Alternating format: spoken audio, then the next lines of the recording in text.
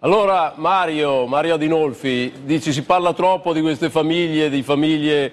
Eh, si parla che... di un segmento minimale di una popolazione che è molto ben sostenuta da una lobby mediatica forte, ma dello eh. sterminato numero di milioni di famiglie che fanno una fatica infame ad arrivare a fine mese, è molto difficile averle come protagoniste. La donna qui è Monica, che magari è meno glam di Alessia e di Efe Balla, ma è quella che ha messo al mondo i figli e che ha fatto la fatica vera di crescerli ed è bellissima, guardate quanto è bella. Quella è una mamma, quella è una mamma, è una mamma vera, una mamma vera, non una chiacchiera, non un effetto del, dello show business, è realtà, è carne, sangue, fatica, non orecchini e trucco. Capite? È una cosa diversa, è bellissima, straordinariamente bella. Cerchiamo di raccontare un po' di più quello e un po' di meno quello che la lobby ben presente nel sistema mediatico vi impone di raccontare tutte le sere. Ma Alessia e Michele, scusa, minimale, scusa Mario, scusa Adinolfi, ma Alessia e Michele fanno parte dello show business?